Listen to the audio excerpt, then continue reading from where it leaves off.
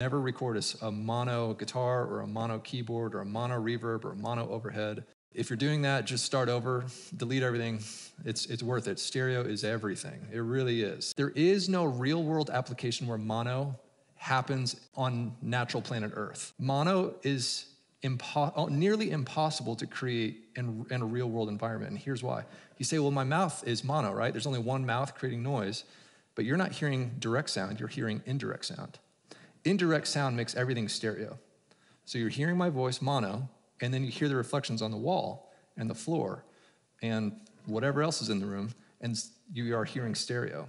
Everything in life is stereo. Everything is stereo. You're hearing reflections, you're hearing direct sound and indirect sound in every environment.